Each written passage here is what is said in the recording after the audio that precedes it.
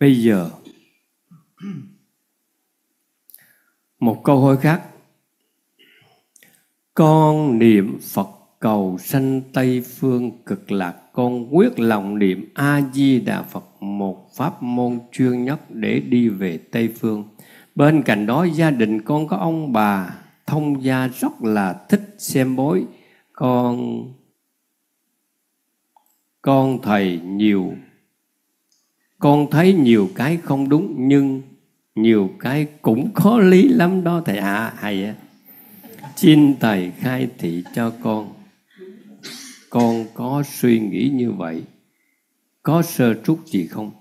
Chư vị nào mà, mà viết cái này lên cho là có cái cái lý nào trong này? Xin thưa với chư vị thế gian thường nói là xem bối thì bị mất tiền mà lại thêm lo. Chúng ta đã lo nhiều quá rồi mà lại hối thầy bối để còn thêm nhiều chuyện lo nữa. Cách đây không lâu dầm hồi trước thì không dám nói mà bây giờ đây cũng, cũng dám nói. Có một vị sư kia tu hành hơn 30 năm. Hơn 30 năm. Khi người mẹ mất ở đâu dụng vùng Vũng Tàu đó. Thì về làm đám tang đồ xong rồi thì đi coi thầy bối vì sư mà để đi coi thầy bối đúng ra mấy ông thầy bối thì mới đi thính giáo, mấy vị sư là mới đúng dài vị sư của mình là đi đi đi đi bỏ cái gái đi đi coi thầy bối để cho ông thầy bối đó, ông nói mẹ của thầy bị vướng vào cái đại trùng đại trùng mà trong khi đó coi thì cũng mất mười mấy triệu rồi. Rồi bây giờ nếu mà muốn giải ra phải tốn 200 triệu đồng Việt Nam. Vì đó tớ bày với với với với với với, với tình ái này. Tình ái này a di đà phật. Tại sao chúng ta là một vị thầy? Vì thầy chúng ta còn cao quý hơn ông thầy bối mà lại bỏ cái vị phải cao quý đi để mà tìm hỏi ý kiến của, của, của vị thầy bối thầy bối vì cái đồng tiền của thầy hơi rúng rính quá cho nên thầy bị mất 200 triệu. Hỏi thầy đưa chưa? Đã đi đưa rồi. Hả di đà phật. Chứ vì thấy không? Đúng là xem bối mất tiền mà lại thêm lo. Nếu mà đưa 200 triệu gọn quá thì khi mà làm xong rồi đấy thầy ơi nhưng mà cái cái cái cái cái, cái nạn trùng tan của mẹ thầy nặng quá ít ra cũng phải bảy tám chục triệu nữa mới được. Kiếm được được chút nại chút đó mà đúng không chư vị? Vô tình chúng ta bỏ mất cái tư thế của một vị thầy là theo cái hạnh nguyện pháp vương. Phải không? Quán độ chư chúng sanh bây giờ quán độ mẹ mình không được phải nhờ thầy bối độ dùm.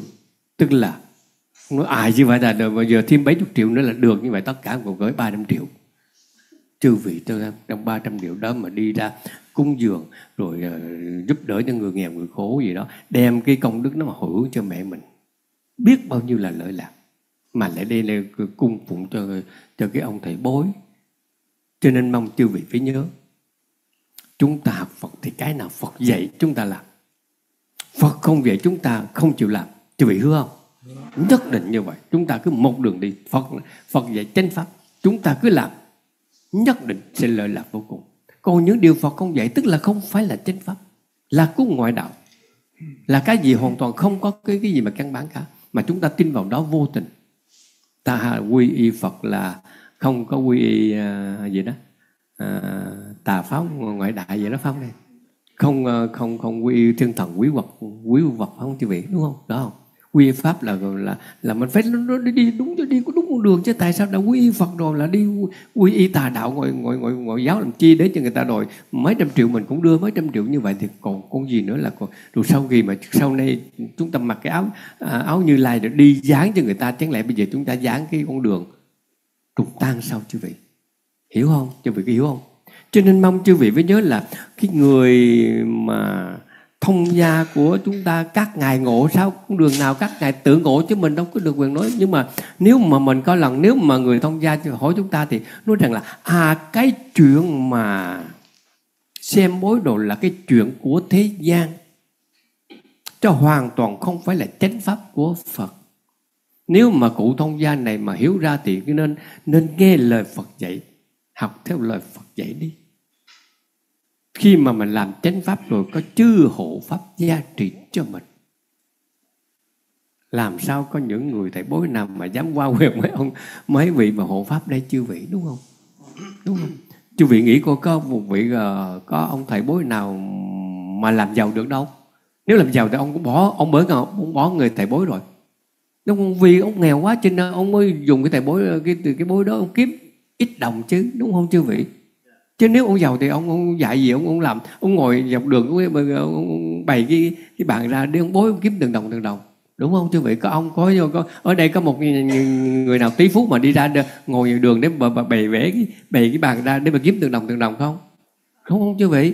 Ở chứ mình hiểu được trên mong chư vị nói cái lý nào đó thì tôi không biết. Tôi không biết nhưng mà cái lý này nó không nằm trong cái lý của Phật dạy chúng ta. Thì xin chư vị đừng nên mà nhẹ dạ đi theo buồn lắm đấy chư vị, không hay không hay đâu. Cho nên mong chư vị phải nhớ là cứ một đường lập chánh đạo của Phật đi. Chư vị hướng không biết bao nhiêu lừa lạc. Đến nỗi đi vãng sanh thành Phật, còn có thể làm được huống chi là thầy bố. Đúng không chư vị? Thầy bố cũng đưa sách cũng đưa ra cũng ghi tên ghi túi. Còn chúng ta về tây vương không còn ghi tên ghi túi, không còn gì lọc sách rồi đó. Chúng ta nhìn biết liền. Tại con mắt chúng ta thấu triệt mà gọi là Phật nhãn dáng. Nghĩa là Phật nhãn nghĩa là bao trùm tất cả mà còn chúng ta còn các các ngài thầy bố toàn là nhục nhãn không rồi nhục nhãn tức là nhục nhãn là cái, cái, cái con mắt ấy.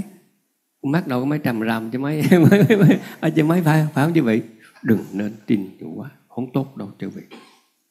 Chịu chưa? Chứ vị nhất định chưa? Chúng ta cứ nghe lời không nên nghe thầy bố gì đâu. Còn ông này thầy bố ông chống ta là tại vì ông kể ông cho mình cái cháu ông đâu mình thương ông mà mình ông ông, ông nghèo quá mình thương ông chứ mình cái cháu ông đâu đúng không chư vị? Nhưng mà làm vậy chi? Đi làm kiếm tiền với là, là làm gì đó làm à, ờ, làm ăn cho nó đàng hoàng đi rồi người này hiền hòa đi người ta giúp đỡ cho cũng tốt hơn chứ còn gì. Phải ờ, là bày cái, cái, cái bàn ra giữa đường gì khi nắng mưa gì khổ cực nhiều khi có ngày người ta không tới ta bối làm sao đây? Khổ lắm.